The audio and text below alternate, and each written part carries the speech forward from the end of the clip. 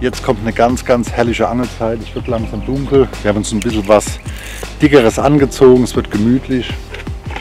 Fini hat schon unten im Zelt ihr Plätzchen gefunden. Die ist ganz müde, gell?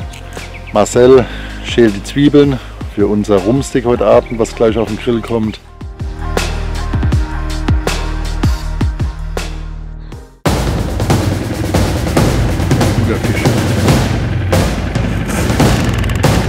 Volleinschlag im Altarm auf den großen Totenköder. Wahnsinn, geht richtig vorwärts.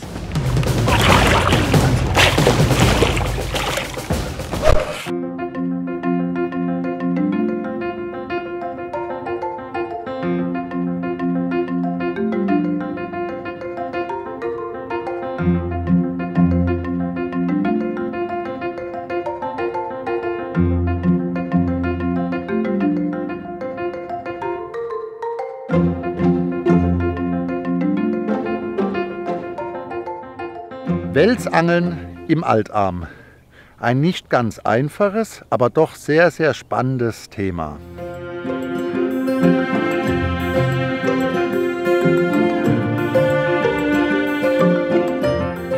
Jeder Angler kennt die urischen, naturbelassenen Altarme unserer Flusssysteme hier in der Heimat und weiß auch, dass sich da zahlreiche Fischarten drin tummeln.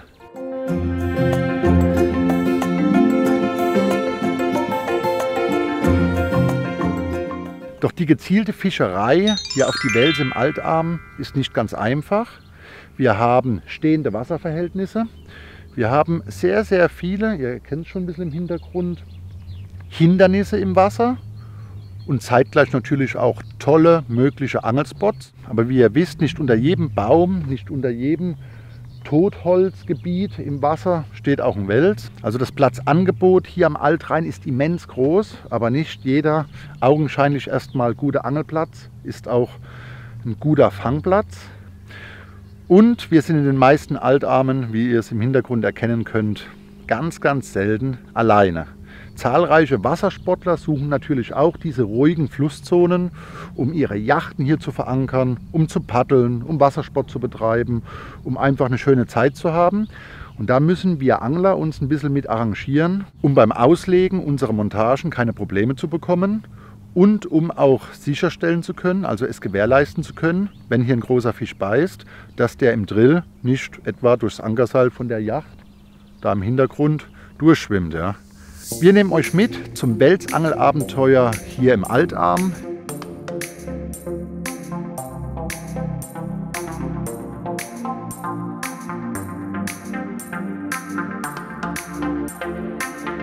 Ich habe jetzt gerade unser schwimmendes Zuhause verankert. Die Uferpartien hier sind absolut nicht zugänglich und in den Büschen drin im Schatten tummeln sich unzählige Mücken. Also da will kein normaler Mensch wirklich drin sitzen. Deswegen sind wir aufs Boot gegangen, haben uns einen schönen, gemütlichen, sicheren Ankerplatz gesucht und beginnen jetzt mit der Platzwahl. Jetzt geht es erstmal aufs Schlauchboot. Wir nehmen euch mit. Wir gucken uns unser Angelareal hier im Altarm jetzt erstmal in Ruhe an. Dieser Altarm ist sehr weitläufig. Also wir haben wirklich viele, viele Möglichkeiten hier und treffen dann die Entscheidung, welche Montagen zum Einsatz kommen. Es ist so heiß, man hat eigentlich überhaupt keine richtige Lust, hier unser gemütliches und schattenspendendes Bootszelt zu verlassen. Da hinten liegen sie, die müden Krieger. Ich weiß nicht, ob ihr es erkennen könnt. Fini ist komplett am Arsch. Marcel chillt. Der begleitet mich jetzt bei dieser Tour. Und ich hoffe doch, dass wir es hinkriegen, für dich mal deinen ersten guten Rheinwels ans Band zu bekommen. Ich auch mal. Ich mache mich jetzt mal raus zur Platzerkundung. Marcel hält hier Wache über unser Boot, obwohl ich nicht glaube, dass hier irgendwas wegkommt. Denn hier unten werden es immer mehr Yachten um uns herum. Die kreisen uns jetzt richtig ein. Ja, ich hoffe echt, dass das kein Nachteil fürs Angeln ist, aber ich habe euch ja vorhin schon mal erklärt, dass diese Altarme auf den ersten Blick relativ einfache Angelmöglichkeiten einem vorgaukeln, aber das stehende Wasser und die zahlreichen Wassersportler, die diese Bereiche hier aufsuchen, kann schon seine Tücken haben. Ganz spannend. Guckt mal hier. Ein Haufen totes oder absterbendes Kraut löst sich hier anscheinend aktuell vom Gewässerboden. Kommt alles an die Oberfläche und macht so einen richtig starken Teppich hier auf dem Wasser. Die Altrheinwaller werden das gewohnt sein, aber bin mal gespannt, wie sie darauf reagieren. Probieren werden wir es auf jeden Fall. Ich hoffe bloß, wir nähern uns jetzt dem Wochenende, dass nicht noch mehr Yachten hier neben uns den Ankerplatz suchen. Hier kommt gerade das nächste Partyboot vorbei. Die Leute winken alle, sind furchtbar nett, aber die verankerten Yachten hier in der Nähe unserer Angelplätze sind natürlich auch eine Scheuschwirkung für die Waller. Ankerseile gehen ins Wasser, das ist ein Problem, wenn man einen guten Fisch drauf hat, dass der Fisch vielleicht im Drill da durchschwimmt oder unter so einer Yacht hindurchschießt und wir dann mit unserer Angelschnur am Ankerseil hängen bleiben. Aber es ist halt so. Wir müssen uns arrangieren. Jetzt kommen noch ein paar Schwäne auf uns zu. Also wirklich eine traumhafte Natur und wir sind wirklich froh. Viele Altarme werden ja mittlerweile zu Naturschutzgebieten erklärt. Dass noch einige auf jeden Fall für uns Angler zugänglich sind und wir hier diese tolle, spannende Natur uns mit anderen Wassersportlern teilen können. So, ich verlasse jetzt unser gemütliches Boot. Das stelle ich euch nachher nochmal vor, wie wir genau auf dem Boot leben und hausen. Und fahre mal raus mit euch mit dem Schlauchboot, mit unserem Beiboot. Dann schauen wir uns mal das Angelareal genauer an. Vielleicht finden wir sogar ein paar Fische. Das Wasser ist relativ klar. Polbrille, um die Wasser, die Lichtbrechung auf dem Wasser zu durchbrechen, habe ich dabei. Das sehe ich relativ gut. Und eine Spinnrute werde ich mir auch einpacken. Denn schon öfters war ich hier auf Platzsuche und konnte irgendeinen Raubfisch unter einem überhängenden Baum stehen sehen und hatte nichts dabei. Und dieses Mal habe ich auf jeden Fall eine Spinnrute dabei. Auf geht's, fahren wir mal raus. Ich wollte jetzt gerade losfahren und da im Hintergrund seht ihr, was ich meine. Da kommt das nächste Partyboot. Hoffentlich parkt er nicht genau in der Flucht von den Routen, die ich später hier auf Grund ablegen will. Denn dann müssen wir uns auf jeden Fall irgendwas einfallen lassen. Schnüre müssen wir auf jeden Fall absenken bei den Grundmontagen. Denn ihr seht ja, die kommen relativ nah hier an uns vorbei. Der Altarm ist ja auch nicht der breiteste. Damit sie nicht aus Versehen natürlich unsere ausgelegten Angelschnüre in ihren Motor bekommen. Aber jetzt schauen wir uns erstmal einen Platz an. Bis jetzt fährt er noch vorbei. Drückt die Daumen. Aber da unten ist schon richtig Alarm. Da ziehen so viele Yachten jetzt hier rein. Wir wollen halt auch ein schönes Wochenende in der Natur verbringen. Muss man akzeptieren.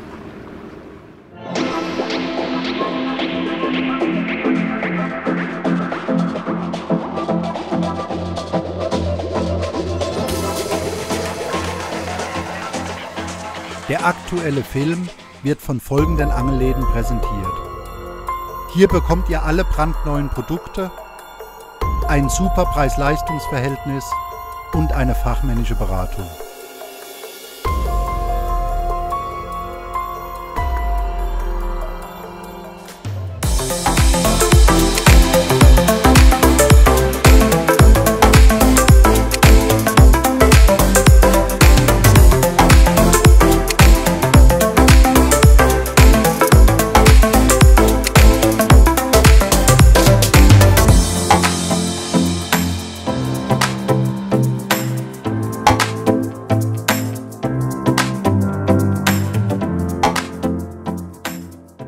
Wir finden hier im Altarm zwei ganz unterschiedliche Uferpartien vor. Hier im Hintergrund seht ihr eine Steinpackung.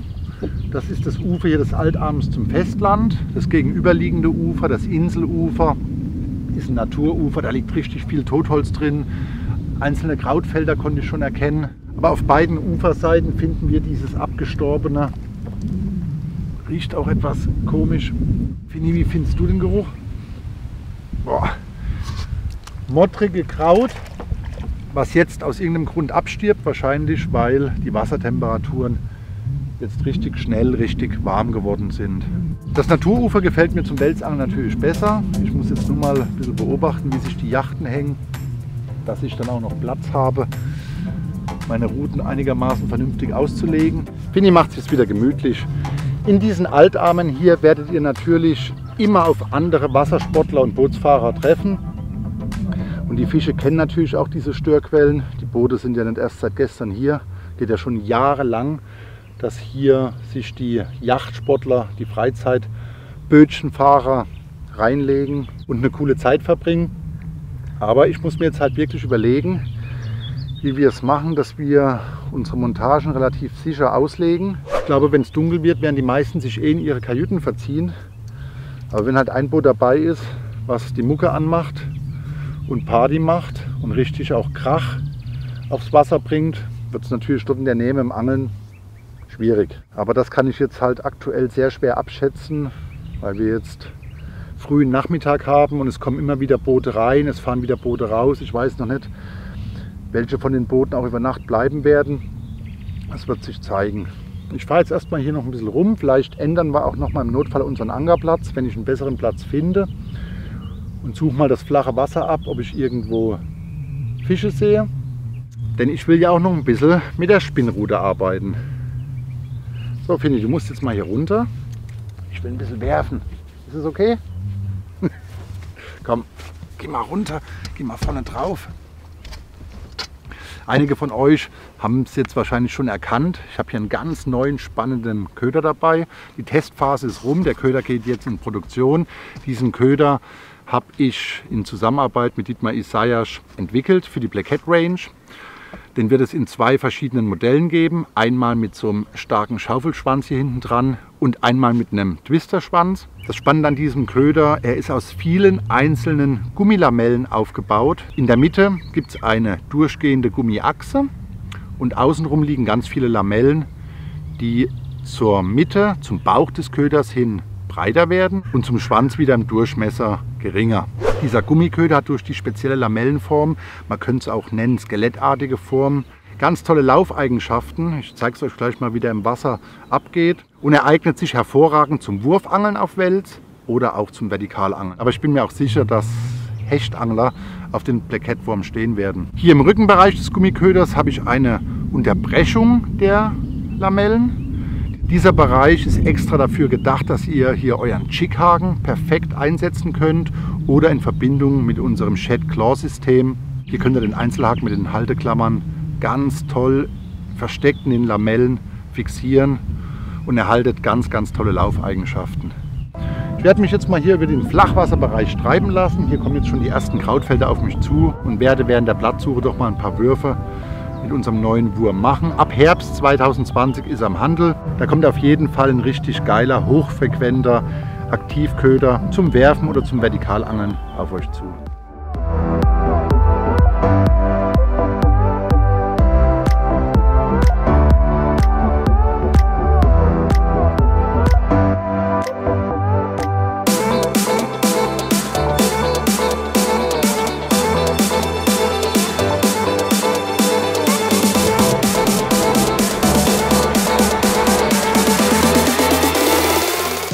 Ihr konntet gut erkennen, wie fantastisch der Black Cat Gummiwurm läuft und die Lamellen schon unter ganz leichtem Zug auf den Köder Wasserverwirbelung erzeugen, die dem Köder dadurch eine ganz realistische, eine ganz natürliche Schwimmeigenschaft verleihen. Ich werde jetzt hier noch ein bisschen rumtigern, vielleicht finde ich ja irgendwo noch einen Bereich, wo dieser Algensalat hier an der Oberfläche etwas freier wird. Den Wind, den ihr im Hintergrund hört, der hilft, vielleicht bläst er irgendwo das absterbende Kraut ans Ufer. Fürs Welsangeln mit Grundmontagen oder mit Freestyle-Montagen später in den Bäumen sehe ich überhaupt kein Problem. Ich muss es ja nur schaffen, den Köder unter dieses Treibkraut zu setzen. Aber beim Wurfangeln hier ist es doch sehr, sehr hinderlich. Schauen wir mal, ob wir ein paar Fische finden.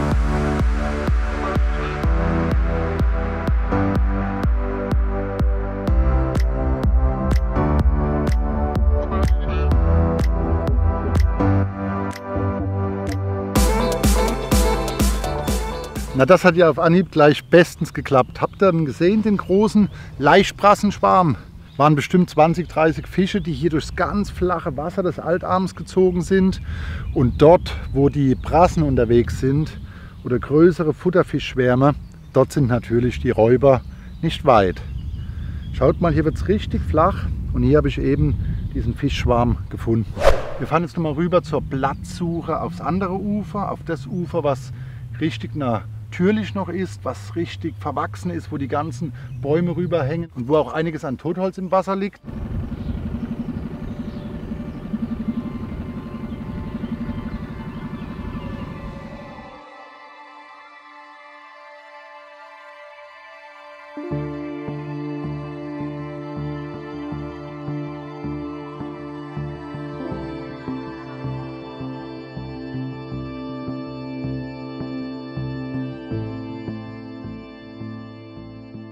Das gesamte Ufer hier drüben hat eine durchschnittliche Wassertiefe von zweieinhalb, stellenweise drei Metern. Und man erkennt auch relativ viele Unterwasserhindernisse auf dem Echolot. Also da ist richtig Baum- und Wurzelwerk unten drin.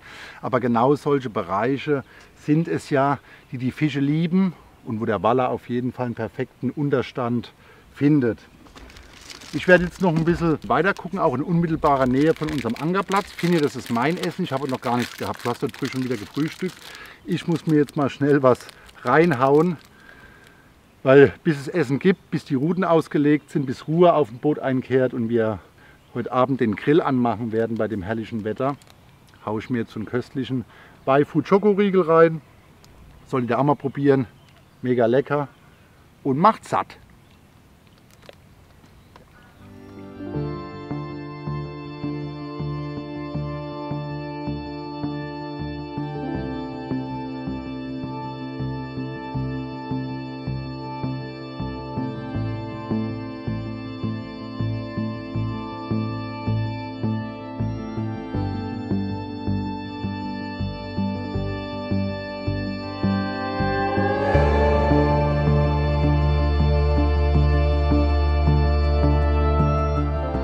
Finja ist natürlich der ultimative Wallerspürhund. Die sitzt die ganze Zeit auf der Schlauchbootspitze und sobald sie einen Fisch wittert, macht sie kurz und ich weiß Bescheid und dort landet dann die Montage.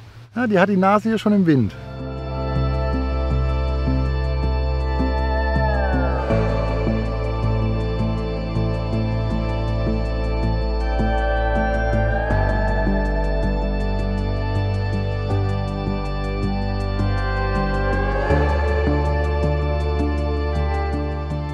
Schaut euch doch mal diesen geilen Angelplatz an, wie im Bilderbuch oder besser gesagt im Wallerbuch beschrieben. Ne?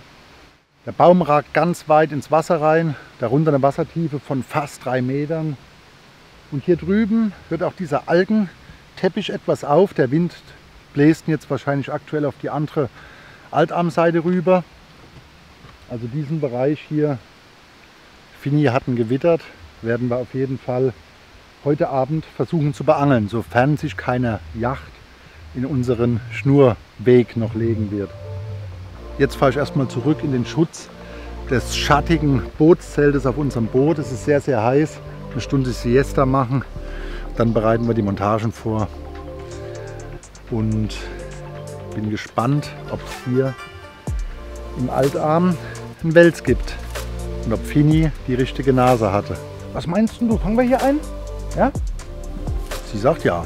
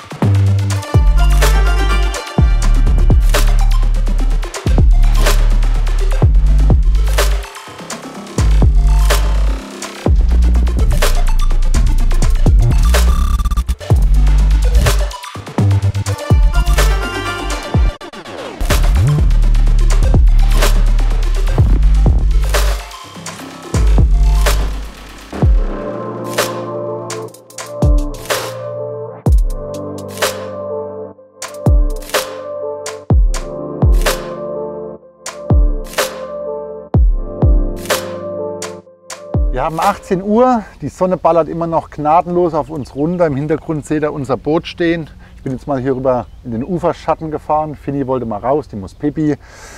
Und wir haben die erste Montage vorbereitet und werden jetzt mit dem Auslegen beginnen. Die Yachten werden immer mehr. Deswegen werden wir die Route, die wir nach unten im Altarm ziehen, also den Bereich, wo der Altarm seine Öffnung zum Hauptrhein hat, mit einer Grundmontage legen. Ich habe jetzt hier mir ein relativ kurzes Vorfach gebaut mit zwei U-Posen. Einmal die EVA-U-Pose mit 10 Gramm, darunter eine rote U-Pose das Stehaufmännchen, das kennt ihr. Obendran eine Haarmontage, damit ich nicht so viel Gewicht wie von einem Drilling habe. Wir haben hier ganz, ganz wenig Strömung und durch die zwei kleinen, sehr unauffälligen U-Posen erhoffe ich mir, dass das Vorfach sich vom Grund aufstellt, leicht in der Strömung streckt und das Tauwurmbündel schön knapp über Grund präsentiert. Wir jetzt mal hier richtig schön beködern. Richtig saftiges Bündel kommt da drauf.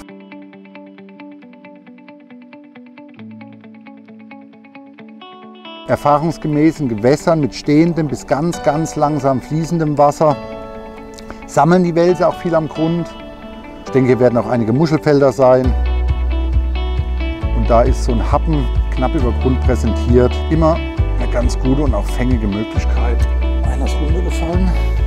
Ich hoffe nur, dass wir nicht zu viel Mitesser haben, denn je wärmer das Wasser ist, desto mehr sind auch Barsche, Weißfische, die grundeln hier am Rhein aktiv und klauen uns da die Würmer runter.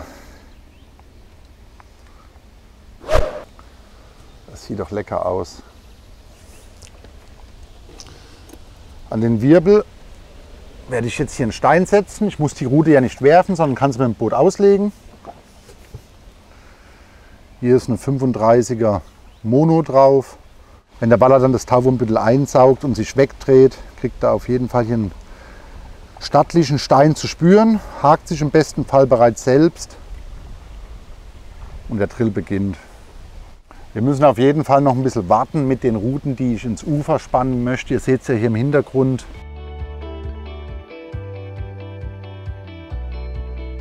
Zahlreiche Paddler kommen auch hier an der Seite hoch.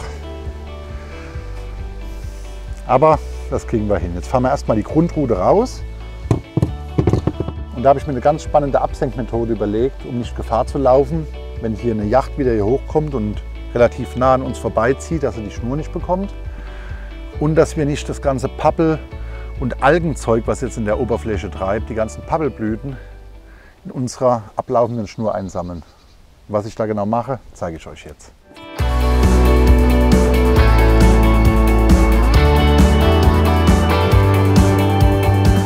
Wir haben hier draußen in der Mitte des Altarms eine Wassertiefe von knapp drei Metern und die steigt dann langsam zum Ufer, zu dem ganzen Totholz hier am Ufer auf. Ich suche mir jetzt exakt den Bereich, wo die Uferkante langsam hochläuft. Und dort werde ich die erste Montage, die erste Grundmontage absetzen. Aber wenn hier ein guter Fisch kommen soll, ihr seht, ne, es ist relativ eng alles. Wir wurden gut zugeparkt heute Abend. So, hier geht es jetzt nochmal runter auf drei Meter Wassertiefe. Das schaut ganz gut aus. Und direkt angrenzend geht die Kante schön das Naturufer hoch, überall die Bäume. Das wird die erste Route.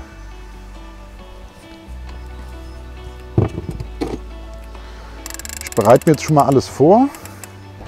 Ich werde meinem Wurmbündel noch ein bisschen Geruch verleihen, weil die Fische oft in stehenden Bereichen sehr stark auf sowas reagieren. Und am Grund geht es bestimmt gerade geruchlich rund, das reimt sich sogar, weil ja das ganze Kraut abstirbt. Also da unten wird es richtig vorwärts gehen und so ein richtig stinkender Happen. Stingy Calamari kommt da jetzt zum Einsatz. Hoffe ich, wird die Waller begeistern. Habt ihr das gesehen? Da kam ein Fisch genau hinter unserem Boot hoch. Also ein bisschen was ist los. Und der kam ja auch in direkter Flucht zu der Yacht da hinten hoch. Also ich denke mal, die Fische wird es nicht, werden die Yachten hoffentlich nicht stören. So.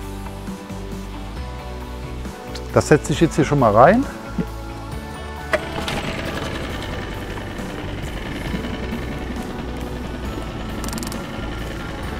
Lege mir dann die Rute mit geöffneter Rolle direkt vor mich, fahre jetzt noch mal langsam in die aufsteigende Kante am Ufer rein und lasse das Ganze ab. Und um jetzt nicht die ganzen Pappeln direkt in der Schnur einzusammeln, halte ich meine Rutenspitze unter Wasser. Denn dieses Zeug, was hier treibt, klebt ohne Ende auf der Schnur und fahre so auf direkten Wege an mein Boot oder ihr an euren Angelplatz, wenn ihr vom Ufer aus angelt. Wir haben jetzt heute Abend wirklich Glück, dass diese absterbenden Krautfelder ein bisschen auf die andere Uferseite geblasen wurden. Aber ein bisschen was kommt hier noch runter.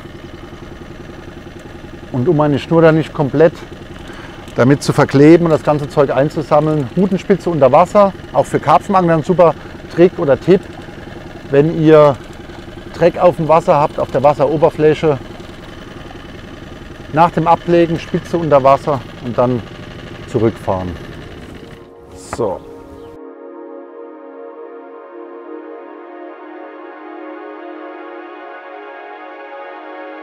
Fini freut sich, dass wir wieder da sind. Die erste Rute sitzt.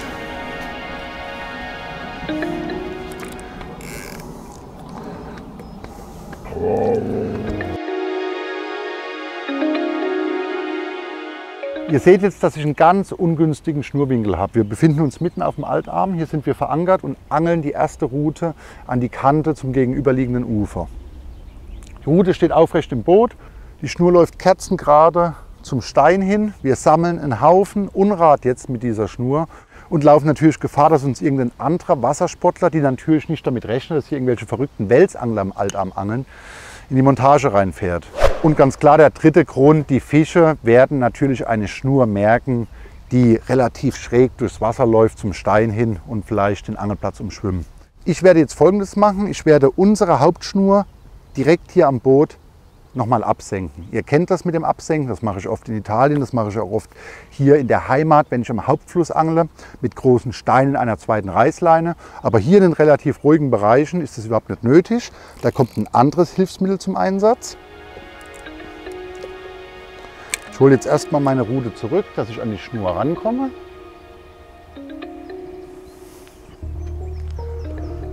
Habe jetzt hier in der Hand meine ablaufende Schnur zum Stein hin gefangen und werde jetzt unser Blackett Absenkblei einsetzen. Das ist eine ganz tolle Sache. Karpfenangler kennen sowas, vielleicht nur nicht in der Gewichtsklasse, wie wir es beim Welsangeln verwenden.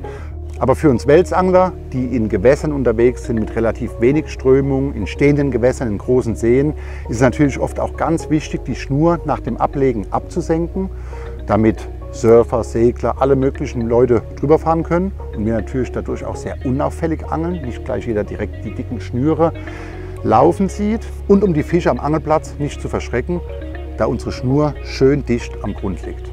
Auf der einen Seite hier hinten an der Öse ist das Blei mit einer starken Schnur fixiert. Auf der anderen Seite habe ich hier so ein Wickelbrettchen, da ist ordentlich Schnur drauf. Auch eine dicke Schnur, damit ihr das Blei nach dem Biss sicher wieder bergen könnt. Und dieses Absinkblei von uns kann ich ganz einfach unterschiedlichen Schnurstärken anpassen. Ich habe hier oben an den zwei herausragenden Drähten, die gegeneinander gespannt sind, zwei Kugeln. In die rutscht die Schnur ganz gut rein. Zack. Und hier unten dran liegt ein ganz starker Gummi. Und diesen Gummi schiebe ich nach oben in Richtung der Kugeln. Und indem ich den Gummi nach oben schiebe,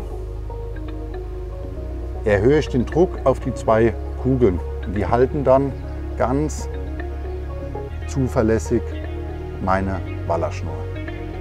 Und dieses Teil werde ich jetzt genau hinterm Boot auf den Grund runterlassen. Ich habe jetzt hier eine Wassertiefe von drei Metern, werde mir die also zuvor abwickeln. Jetzt erstmal hier oben sichern. Gehe jetzt hier nach hinten, hin das Boot.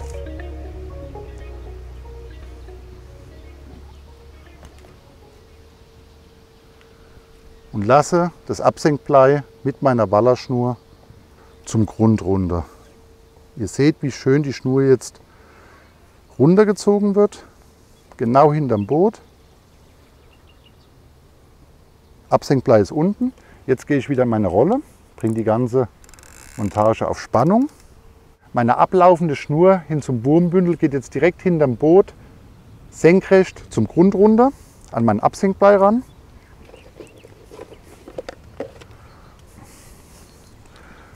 Das wickele ich mir jetzt wieder ein bisschen auf.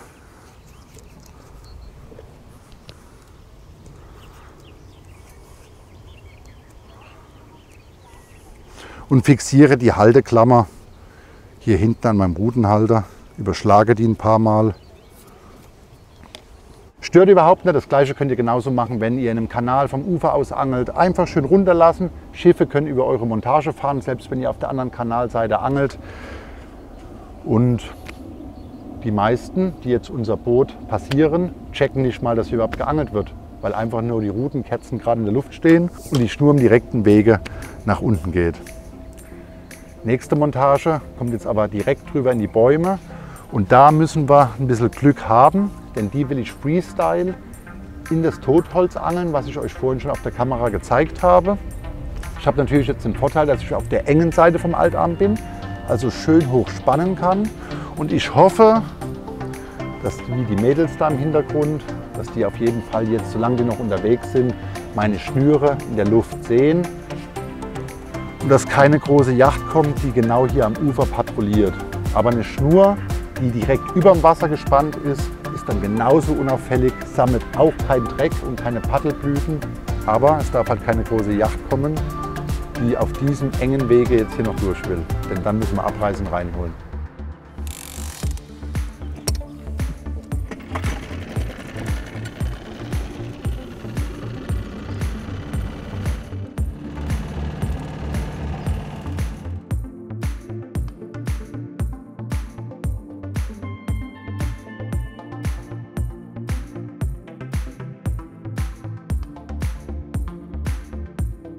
Hier drüben am Angelspot, den sich Finny vorhin auch ausgesucht hat, ist es richtig, richtig angenehm. Hier ist schön schattig. Oh, die Hitze macht einen wirklich platt, vor allem wenn man den ganzen Tag auf dem Wasser frei angernd der Sonne ausgesetzt ist. Ohne Bootszelt wäre das wirklich eine Qual. Ja. Ich weiß gar nicht, wie die draußen auf den Yachten das da mitmachen. Aber für die ist es wahrscheinlich mega angenehm. Wahrscheinlich haben sie auch eine Klimaanlage auf dem Boot. Und immer einen Kühlschrank dabei mit kalten Getränken. So, hier hinten seht ihr unseren Baum. Wenn ich natürlich meine Montage hinter den Baum setze, unser Boot steht flussabgesehen des Altarms, werden wir den Wels wahrscheinlich in den Baum reinziehen. Also werde ich den Köder direkt vor den Baum setzen, um gleich vom Boot, wenn ein Biss kommen sollte, Druck drauf ausüben zu können. Meine Auslegeschnur ist befestigt. Ich fahre jetzt erstmal langsam rückwärts raus, bis ich den exakten Angelplatz gefunden habe, wo ich es präsentieren möchte. Ihr habt ja vorhin auch auf dem Eschlot gesehen, ziemlich viel Totholz auch im Wasser drin. Ich fahre jetzt langsam zurück. Hier auf dem Eschlot könnt ihr jetzt auch gut erkennen, direkt in Ufernähe sind auch Bäume im Wasser, relativ viele Hindernisse. Ich gehe jetzt auch mal in einen anderen Eschlot-Modus rein.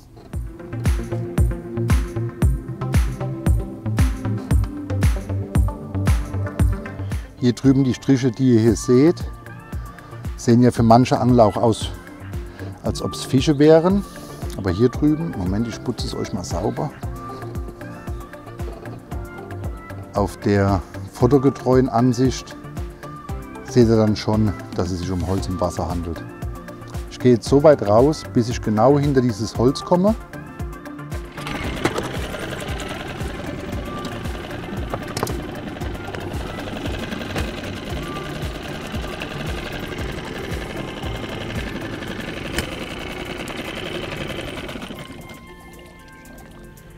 Jetzt wird das Wasser sauber.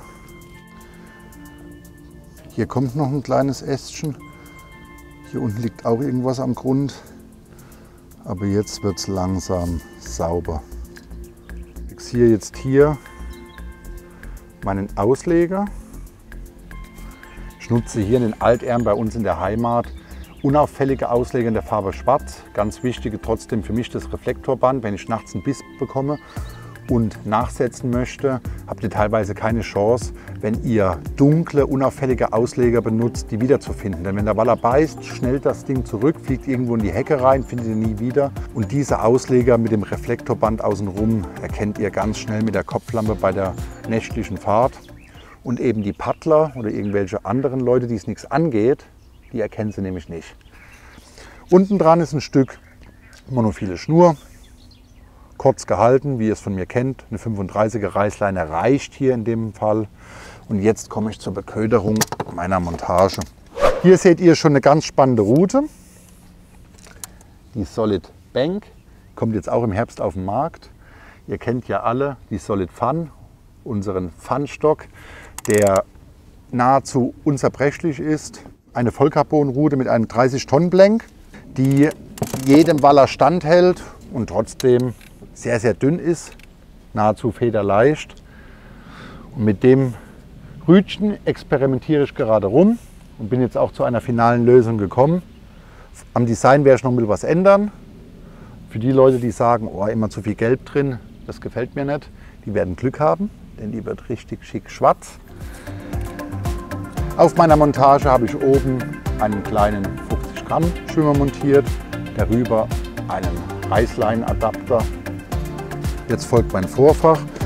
Und hier werdet ihr jetzt was Spannendes sehen. Ich habe jetzt nämlich lange überlegt, dadurch, dass ich den Brassenschwamm da oben im Flachwasser gesehen habe, möchte ich auch einen relativ großen Köder erzeugen. Denn es kann sein, wenn die Brassen jetzt hier leichen und die Waller auf die Brassen richtig abfahren oder leichende Fische hier in den Hecken suchen, wollen sie einen großen Happen. Denn in dieser Größe sind auch gerade die Beutefische hier im Altarm unterwegs. Wir haben sie selber mit eigenen Augen gesehen. Solche XXL-Köder habe ich natürlich aktuell nicht am Start. Und deswegen habe ich mir ein Vorfach gebaut mit einem Frontzone-Blei drüber. Ich werde wieder unterschiedliche Bleie testen und einsetzen. Hier habe ich jetzt das ganz normale Frontzone-Blei in schwarz dabei. Das nächste Vorfach wird das in the Dark Blei tragen, damit ich wieder schön testen kann, auf was die Fische stehen. Wir haben ja hier ein sehr, sehr klares Wasser. Da kann man das schön probieren. Auf meinem Vorfach habe ich zwei Ghost Hooks montiert und einen relativ großen Einzelhaken. Auf die beiden Ghost Hooks werde ich eine tote Forelle setzen. Hier kommt der Haken. Einen Ghost Hook setze ich dabei der Forelle direkt an den Kopf.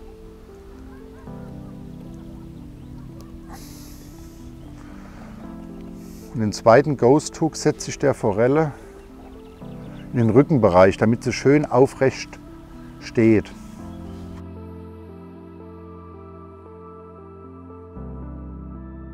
Und eben eine einfache Beute hier unter den Hecken imitiert. Und auf diesen Haken, um meinen Köder, um das Ködervolumen nochmal zu vergrößern, werde ich richtig ordentlich Tauwürmer draufbringen jetzt. Dadurch habt ihr bei der Präsentation später einmal die Silhouette des Köderfischs und darüber ein pulsierendes Tauwurmbündel, was dem Köder noch Bewegung verleiht. Und ich denke, so ein Räuber der auf irgendwelche leichenden Fische, auf einfache Beute hier unter den Hecken, in den Altarmen aus ist, der sollte doch da Interesse schöpfen und zupacken. Morgen müssen wir auf jeden Fall wieder einen Angel laden. Ihr seht es ja gerade selbst, die passe noch fit, aber selbst in der Kühlbox bei den Temperaturen leiden doch die Tauwürmer auch sehr stark. Und es ist eigentlich Quatsch, sich in dem Fall solche 24er Dosen zu holen, weil die Hälfte wirklich anfängt zu kochen. Das nächste Mal lieber kleine Dosen und die irgendwie besser im Kalten verstauen. So habe ich mir das vorgestellt. Hier seht ihr das nochmal schön. Den hinteren Haken werde ich noch mal ein bisschen umsetzen, weil sonst die Forelle zu gerade im Wasser hängt. Das Gewicht geht natürlich im Wasser dann verloren. Der Ghost Hook wird es dann wahrscheinlich nicht halten. Aber jetzt bei der Uferpräsentation, ich setze diesen noch ein bisschen mehr in den Rücken rein. Vielleicht sind zwei Haken auch überflüssig, aber wenn er vorsichtig beißt, ist es mir doch lieber. Jetzt steht sie schon relativ schön gerade. Die Würmer locken direkt drüber. Und es ist auf jeden Fall ein ganz schön krasser Geruch. Die Forelle ist jetzt schon längere Zeit aufgetaut. Die habe ich tiefgefroren von zu Hause mitgebracht. Aber es ist doch ein geiler Happen hier direkt an den Hecken. So, dieses System verbinden wir jetzt mit unserer Reißleine. Jetzt machen wir jetzt erstmal die Hände sauber, bevor Finny nachher wieder das ganze Boot abschlappert, wenn wir zum Gassi gehen fahren.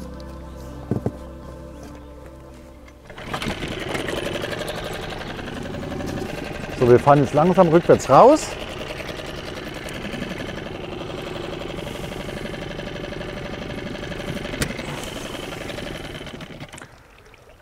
Wir haben unseren Ausleger schön weit oben angebunden in den Hecken. Ich verbinde jetzt die Reißleine hier mit meinem Reißleinadapter überhalb des Schwimmers. Lass das ganze System mal ins Wasser.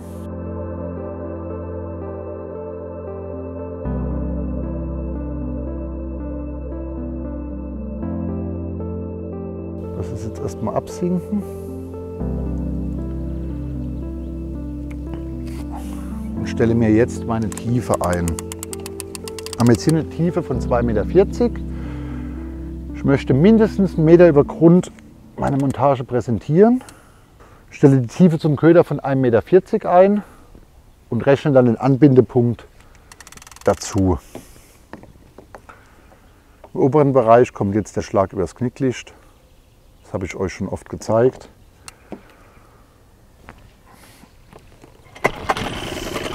Und jetzt geht es auf direktem Wege zurück zum Boot und drückt uns die Daumen, dass jetzt in der Abenddämmerung nicht noch eine Yacht genau hier auf unserem Angelplatz parken will.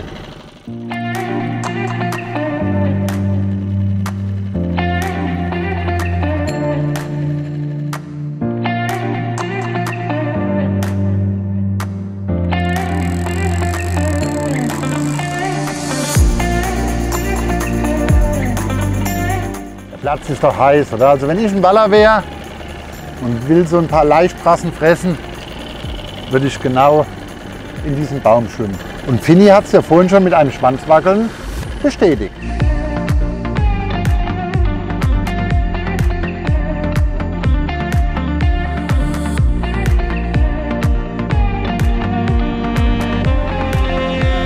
Schön die komplette Schnur aus dem Wasser rausspannen, sonst ist es sinnlos. Wir sammeln doch wieder dieses tote Kraut.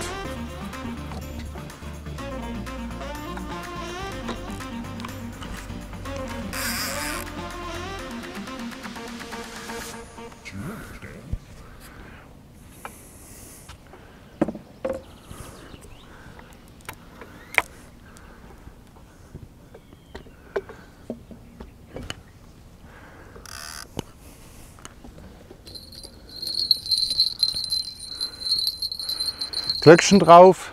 Die Glocke braucht ihr nicht so weit oben setzen wie beim Uferangeln. Das Boot bewegt sich alles ein bisschen. Und umso weiter oben dann die Glocke an der Rute hängt, umso eher gibt es auch ein Signal, wenn überhaupt kein Alarm ist. Und hier unten im unteren Bereich, seht ihr ja, kann ich jetzt schon ein bisschen mich bewegen.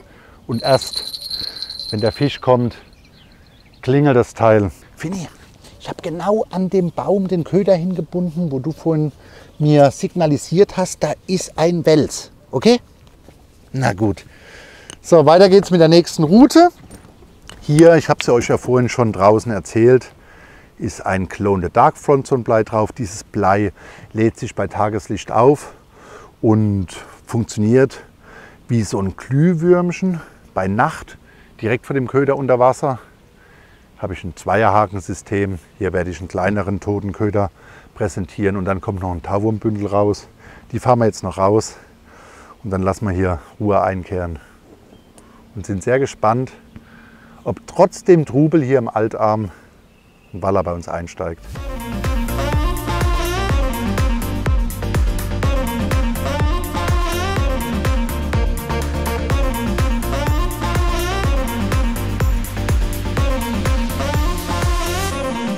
Ihr könnt runter durch.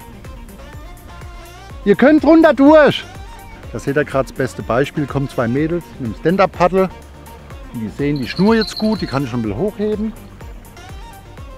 Und da kommen die ganz problemlos unten durch, gibt keinen Stress.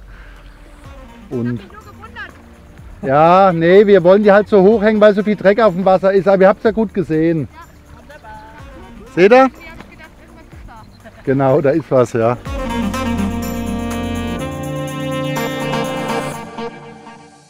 So einfach kann man es als Welsangler haben. Wenn man ein bisschen aufeinander Acht gibt, ein bisschen nett mit den Menschen spricht, gibt es auch keine Probleme. Die Mädels waren doch ganz begeistert. Die haben sich natürlich am Anfang ein bisschen gewundert. Das machen ja die meisten Fußgänger oder Passanten, die nicht wissen, wie ein Welsangler angelt. Aber dann muss man es halt schaffen, ein bisschen zu erklären, was man macht, warum es so aussieht. Und dann können auch keine Irrtümer oder irgendwelche falsch gedeuteten Beobachtungen von Passanten oder anderen Wassersportlern auftreten und es gibt keine Probleme. So einfach ist es.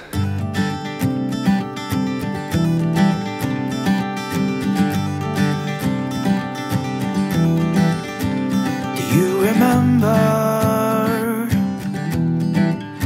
those long We played water fights, stayed up at night, and dreamed of ways through the world. I still remember. Jetzt kommt eine ganz, ganz herrliche Angelzeit. Es wird langsam dunkel. Wir haben uns ein bisschen was Dickeres angezogen. Es wird gemütlich. Fini hat schon unten im Zelt ihr Plätzchen gefunden. Die ist ganz müde, gell? Marcel schält die Zwiebeln für unser Rumstick heute Abend, was gleich auf den Grill kommt. Ich zeige euch jetzt mal kurz, wie unser Boot hier aufgebaut ist. Hier drüben haben wir einen Schlafbereich im Schutz des Black Hat Bootszeltes. Fini darf da auch mit sich reinmupfeln, gell? Ja. Hier vorne haben wir uns einen Tisch hingestellt als Ablage. Da tun wir abends zusammen essen. Hier unten an der Jaro-Zeltbatterie wird gerade die ganze Technik aufgeladen, dass ihr auf jeden Fall rattenscharfe Film- und Fotoaufnahmen bekommt, falls wir eine Aktion bekommen. Ja. Mega Stimmung jetzt hier am Altrhein. Mega Stimmung jetzt hier am Altrhein. Bin gespannt. Those were the days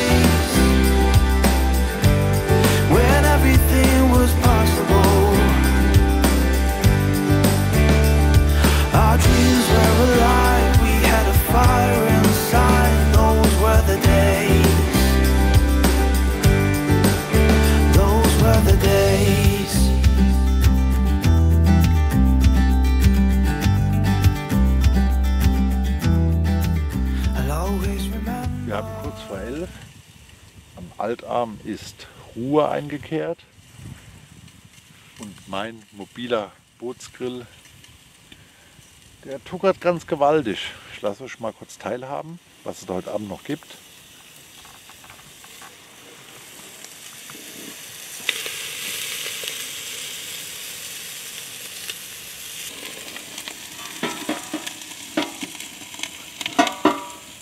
Das wird richtig lecker Schmagofatzki. Bis zum Biss.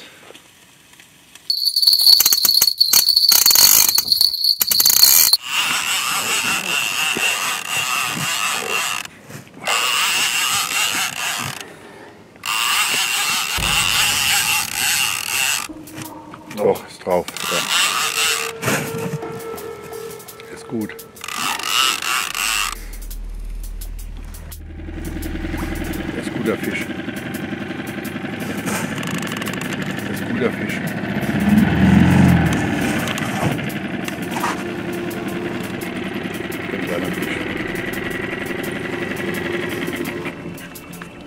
Volleinschlag im Altarm hier. Volleinschlag im Altarm auf den großen Totenköder. Wahnsinn. Geht richtig vorwärts. Wir werden vom Boot weggezogen. Weg von den Yachten, die unterhalb von uns hängen. Geil.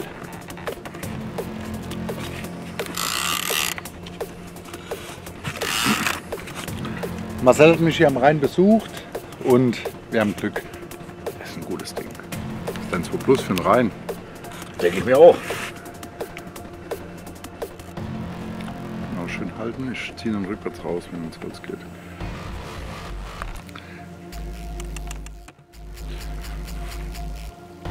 guter Fisch. Guck mal, wie der steht.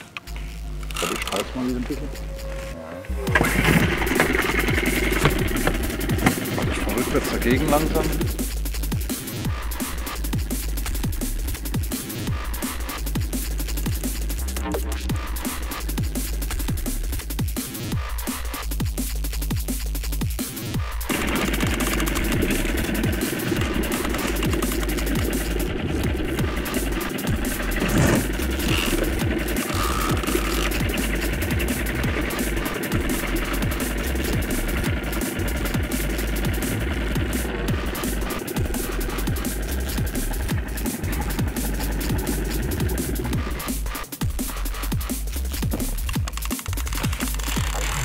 Ihr habt ja eben den ganzen Krautbelag oben auf dem Altrhein gesehen und wir haben eine Wassertiefe von 2,5 Meter. Das Vorfach ist 2 Meter lang und der, nur der Wirbel guckt oben raus. Und der Fisch steht unten in der Tiefe. Wahnsinn.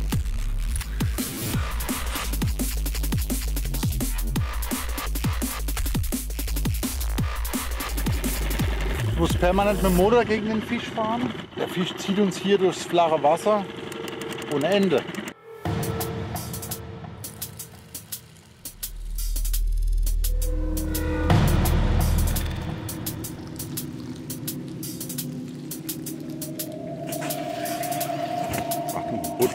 Vom Boot weghalten. Fisch.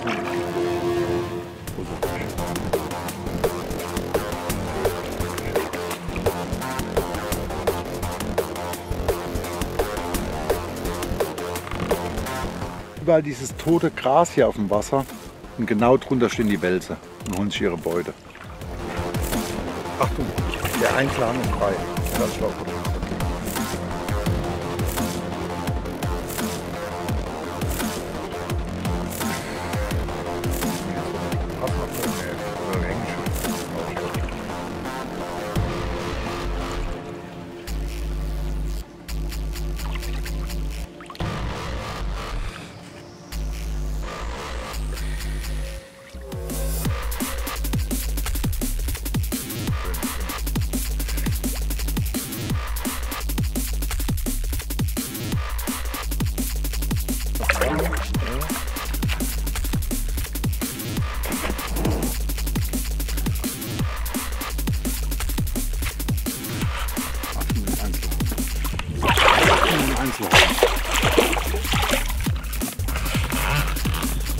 Ghost Hooks haben perfekt gepasst vom Deadbait. Einzelhaken hängt frei, ist ein bisschen schwierig jetzt auf dem Schlauchboot. Aber ich denke, das kriegt man hin.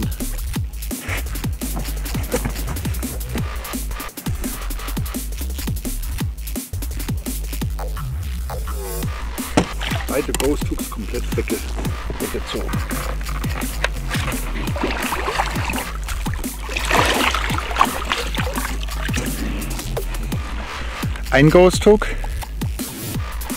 Der zweite Ghost Hook hängt hier drüben komplett weggezogen. Und hier kommt das Monster.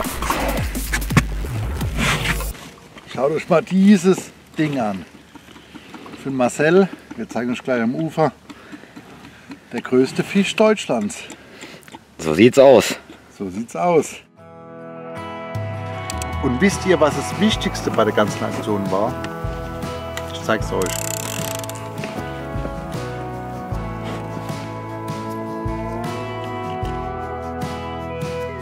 Die Glückssocken.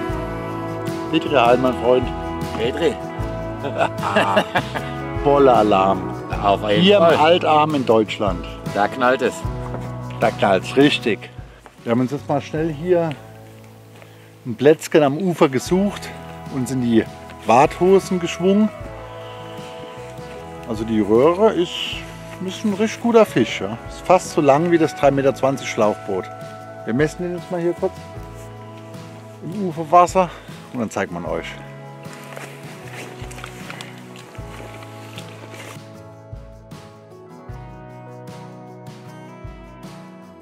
Wo 21 Jungs, 2,21 Meter. Wahnsinn. Wir probieren mal das Monster hier aus dem Altarm euch hochzuhängen.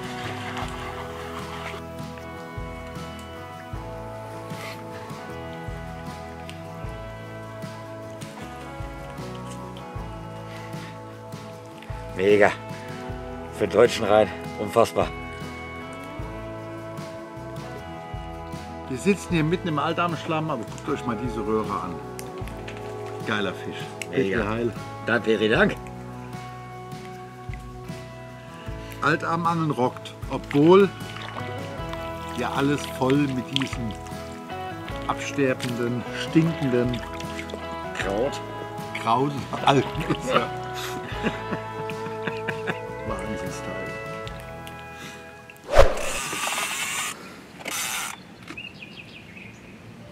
Im Morgengrauen riss uns die Glocke erneut aus dem Schlafsack. Ein kleinerer Wels schnappte sich den Köder am Clone the Dark Blei.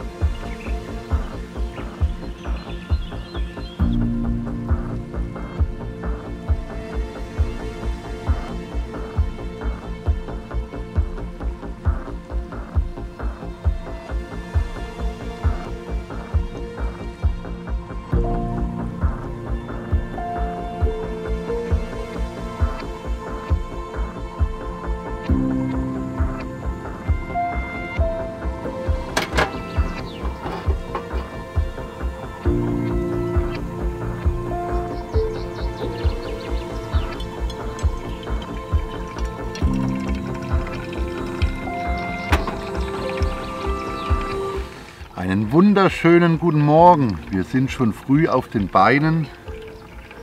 Der Kaffee läuft auch gerade durch. Weil hier im Altarm ging es heute früh schon richtig vorwärts. Wir hatten nicht nur eine tolle Angelnacht, tolle Fische gefangen. Auf den Yachten ist noch alles ruhig, aber die ersten Paddler sind heute schon, ich glaube, halb sechs, kurz vor sechs, hier durchgeschossen bei uns drüben am Ufer. Kurz vor fünf hatten wir noch einen Anklingler auf das Taubombündel unten an der Yacht. Aber der Anschlag ging ins Leere. So schnell konnte ich auch mit der Videokamera nicht dabei sein. Irgendwann muss jeder mal schlafen. Ne? Und dann hatten wir eben noch eine Kontrolle. Die kam dem Auto hier direkt ans Boot, war mir etwas erstaunt. Sowas sieht man ja auch nicht alle Tage. Plötzlich hupt. Ich aus dem Schlafsack raus, denke, was ist denn das? Höre eine Autotür, guck vorbei und da steht der Kontrolleur mit seinem Auto direkt neben uns auf dem Wasser.